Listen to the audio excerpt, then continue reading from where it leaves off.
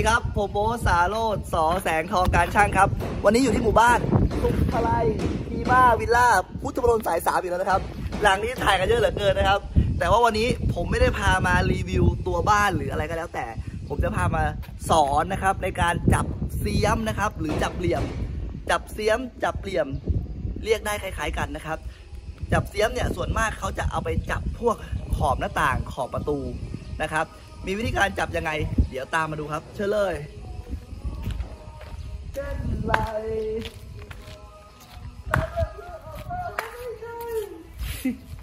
ฝั่งเขาเปิดเพลง อันนี้หลังคาหน้าบ้านเคยถ่ายไปแล้วนะครับ ตอนนี้ก็คืบหน้าไประดับหนึ่งแล้วเนาะอะมาดูหลังบ้านกันนี่ก็เป็นเทอร์เลสหน้าบ้านเสาปูน แข็งมาก แข็งปึ๊บเลย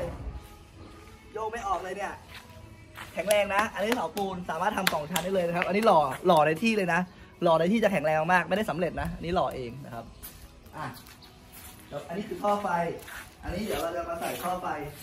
กันนะครับ นี่กระเบื้องเยอะมากเลยดูเพื่อนกระเบื้องนี่คือเยอะมากๆเลยนะครับ ถ่ายสูงไล่มาเลยนี่เห็นไงซื้อมาเตรียมไว้หมดแล้วนะครับ อะมาดูหลังบ้านกันดีกว่ามาเลยเดี๋ยวไม่ทาน ต้องบอกนะครับว่าการจับเสียมจับเหลี่ยมเนี่ย เดี๋ยวช่างเขาจะทำให้ดูนะครับ และต้องบอกว่าต้องใช้ประสบการณ์นะครับ ค่อนข้างสูงนะครับ ซึ่งเขาไม่ได้ใช้แบบเสียมสำเร็จนะครับ ใช้เป็นสามเหลี่ยมนะครับในการจับสามเหลี่ยมอ้าวโอ้ดีครับท่านหนุ่ยครับโอ้โหตอนนี้กำลังจับเสียมมาอยู่นะครับอะต้องบอกว่าอันนี้คือจับเสร็จแล้วจะเป็นแบบนี้ นี่อันนี้จับเสร็จแล้วอุ้ยยังยังมันมาดๆอยู่เลย แสดงว่าเพิ่งทำนะครับ จับเสียมจับเสร็จแล้วก็จะเป็นแบบนี้ ก็จะมีบุ๋มตรงกลางลงไปนะครับ ก็คือสังเกตนะจะคล้ายๆกับตัว V หรือตัว U เนี่ย ตรงเนี้ยมันจะสูงกว่ากันนะครับ ซ้ายขวาจะสูงกว่าแล้วตรงนี้ก็จะบุ๋มลงไปนะครับ นะครับ ส่วนขอบเนี่ยเขาก็จะเสมอกับผนังเลยนะครับ ขอบจะเสมอกับผนังเลยนะครับ ประมาณนี้นะ เดี๋ยวมามาถ่ายขอบมาถ่ายมาถ่ายฝั่งนี้ครับคุณฝั่งนี้ อ่าเห็นไหมฮะจะเสมอกับผนังเลย ตรงนี้เนี่ยเดี๋ยวผนังเราจะต้องฉาบนะครับ จะต้องฉาบกันอีกหนึ่งรอบนะครับ เพื่อที่จะให้มันเสมอกบกันกับเสียมนะครับ ให้มันเท่ากันนะครับ ตอนนี้ช่างเขากำลังจะจับแล้วแหละอุ้ยเดี๋ยวมาดูกันก่อนดีกว่ามามามามามาก่อนจับเดี๋ยวต้องถามก่อนว่าอันนี้ใช้ปูนอะไรครับ เดี๋ยวเราเข้าเรื่องก่อนเลยนี่ใช้ปูนอะไรครับเค็มครับปูนเค็มไหนลองชิมดูดิต้องเลยลองชิมว้า ปูนเค็ม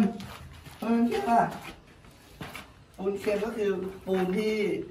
อ่าไม่ใช่ปูนฉาบเนาะปูนเค็มเราใส่ทรายละเอียดใช่ไหมครับใช่ปูนทุกดิ่งไงครับอ๋อปูนลูกดิ่ง ก็คือสามารถเอาปูนเค็มกับปูนลูกดิ่งผสมกันได้ ใช่ครับ ในการจับเสียมอืมแล้วถ้าเราไม่มีปูนลูกดิ่งนี่เราใช้ทรายได้ไหมฮะรายละเอียดครับทรายละเอียดมีทรายหยาบทรายละเอียดใช่ครับที่บอกว่าทรายขี้เป็ดนี่เป็นไงฮะทรายที่เกิดด้วยปลูกหญ้าครับจริงปะใช่แล้วแล้วทรายที่มาปูกระเบื้องอะครับทรายหยาบทรายหยาบส่วนอันนี้เป็นทรายละเอียดเนาะใช่อะเดี๋ยวมาถ่ายใกล้ครับตามมาเลย อันนี้ก็เป็นผสมเรียบร้อยแล้วเนาะเมื่อกี้ผมเห็นใช้เครื่องผสมเนาะผสมมันเข้ากันเนื้อกันดีจังเลยปูนเค็มผสมกับ อันนี้ปูนเค็มผสมกับลูกดิ่งปูนลูกดิ่ง ลูกดิ่งอ๋อ เป็นเป็นฉาบมวลเบาเนาะ มันก็ลูกดิ่งมันก็เป็นปูนสำเร็จที่ผสมทรายละเอียดมาแล้วเราไม่ต้องซื้อทรายละเอียดมาถูกไหมฮะ ใช่ครับโอเคนะครับ อ่าถ้าไม่รู้ อ่า เดี๋ยวนึง ถ้าไม่รู้จากปูนเดี๋ยวผมแนะนำให้ตอนหลัง แต่ตอนนี้ดูก่อนนะครับ ช่างเขาก็จะเอาปูนเนี่ยมาแปะแปะแปะแปะแปะที่เสาก่อนนะครับ จากนั้นเขาก็เอาไม้สามเหลี่ยม อันนี้เขาเรียกไม้สามเหลี่ยมใช่ไหมครับ สามเหลี่ยมครับ อ่า สามเหลี่ยมนะครับ เอามาทาบนะครับกับ กับผนังนะครับทาบกับผนังฝั่งนี้นี่ ซึ่งมีปูนอยู่แล้วนะครับ ส่วนหนึ่งนะครับต้องแปะปูนข้างๆเลยเนาะนะครับ แล้วก็แปะข้างหน้าแล้วก็มาทาบถ้าหน่วยเวลาทาบทาบยังไงอะทำโชว์ลูกค้าหน่อยดิได้ได้ได้นะครับอ่าอ่าเดี๋ยวดูไปเรื่อยๆนะครับ ดูไปเรื่อยๆนะครับเพื่อนๆอ่าเดี๋ยวช่างเขาก็กำลังคนปูนอยู่ตักมาแล้ว อ่าทำต่อเลยก็ได้ครับครับ ช่างหนุ่ยเขาพูดไม่ค่อยเก่งนะครับ อ่ามานะครับค่อยๆทำอะเอาฝั่งนี้เลยดีกว่าอะฝั่งนี้ทำแล้วเออสามเหลี่ยมอีกอันหนึงอยู่ไหนล่ะอ๋อกำลังแห้งแล้วอะเริ่มเลยเรามาเริ่มมาตรงนี้เลยดีกว่ามา เอาน้ำก่อนสลัดก่อนนะครับ เพื่อให้มันเกิดความชื้นเนาะถ้าไม่ใส่ถ้าไม่ใส่น้ำได้ไหมครับ ไม่ติดครับ ไม่ติดนะอ่าต้องใส่น้ำก่อน อันนี้ปูนเรียบร้อยนะครับ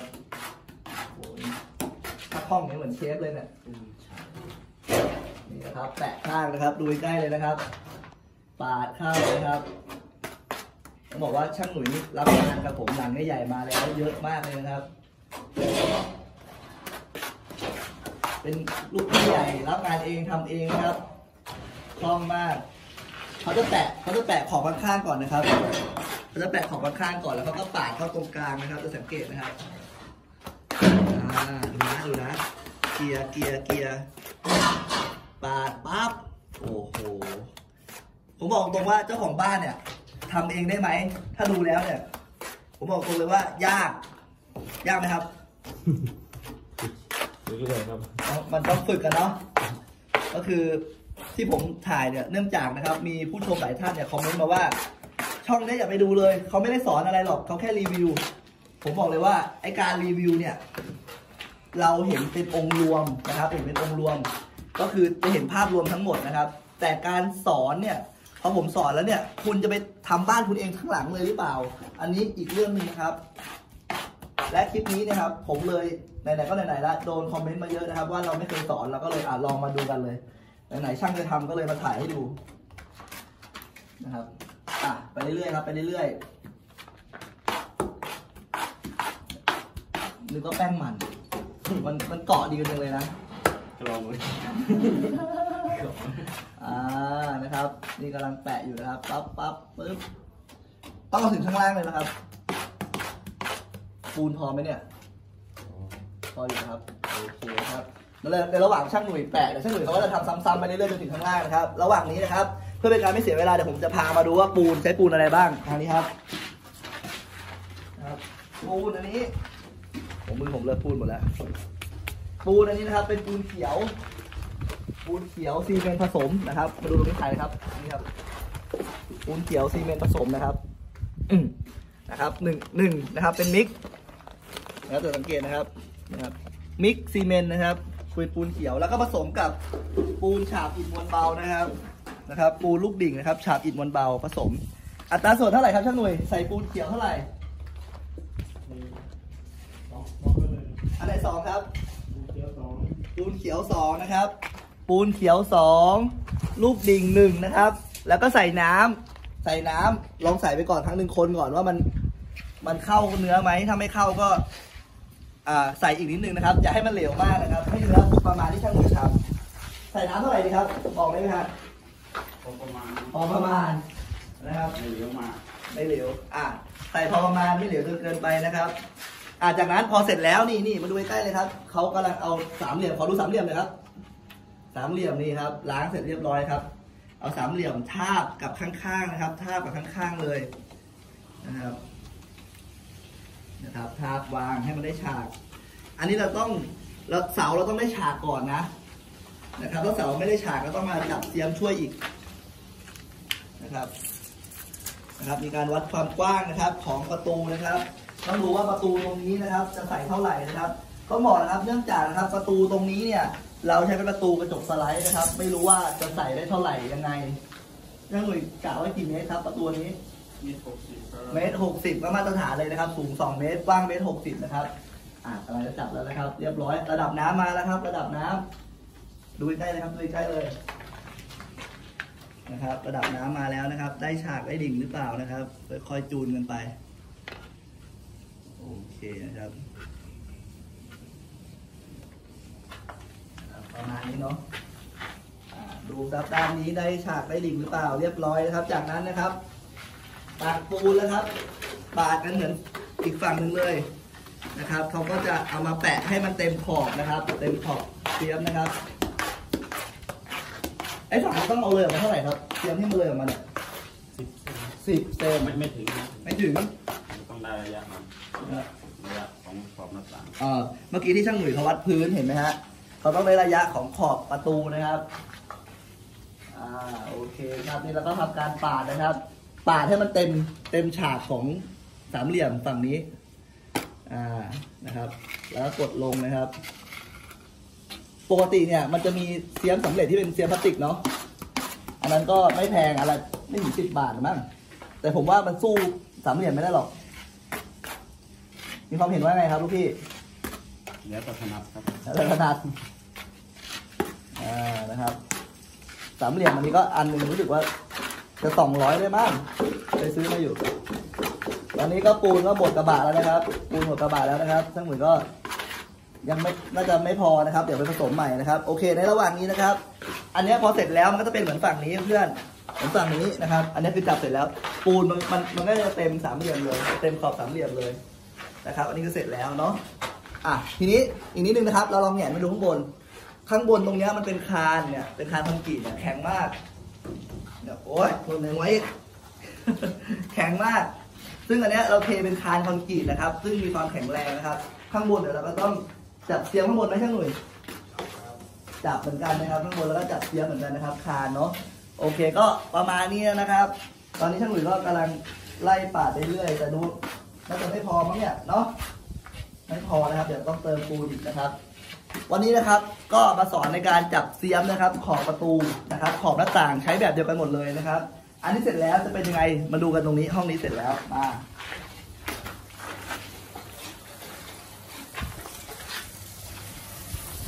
ทันเสร็จแล้วนะครับ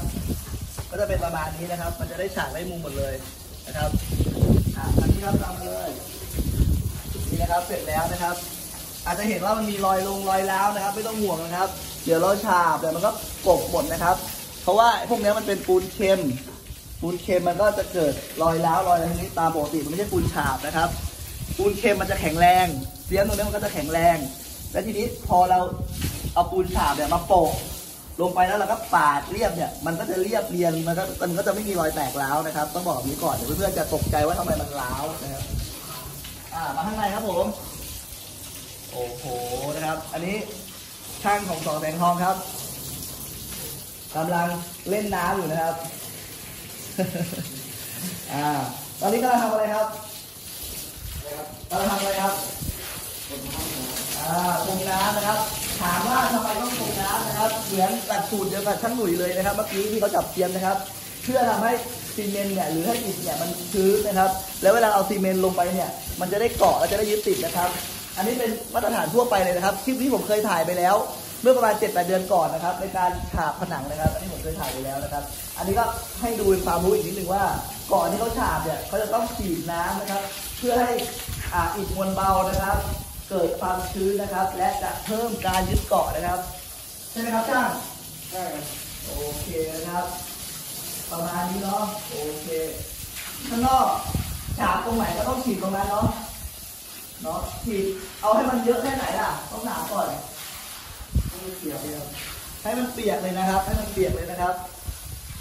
ก็คือให้มันชื้นเต็มที่เลยว่าให้มันชื้นมากที่สุดเลยนะครับ เวลาฉีดเนี่ยถ้ายังไม่ฉีดมันก็จะเป็นสีจืดๆอย่างนี้ แต่พอฉีดแล้วนะครับอาจจะเป็นสีจืดแบบนี้นะครับพอฉีดแล้วมันก็จะเป็นสีเข้มนะครับ ก็ประมาณนี้ เดี๋ยวหลังนี้นะครับ ฉาบเสร็จเมื่อไหร่เนี่ยเพื่อนๆจะไม่เห็นรอยแตกร้าวของเสียมเลย เพื่อนๆจะเห็นไม่เห็นรอยปูนปากแบบนี้เลย จะเนียนกิ๊บไปหมดนะครับผนังจะเนียนกิ๊บไปหมดสวยมากๆถ้ไงเดี๋ยวผมจะพามาดูในคลิปต่อไปนะครับสำหรับคลิปนี้จับเสียมทำยังไงไปกันก่อนนะครับ แล้วพบกันใหม่ในตอนต่อไป และอย่าลืมกด subscribe และกดกระดิ่งให้ผมด้วย ไปแล้วสวัสดีครับ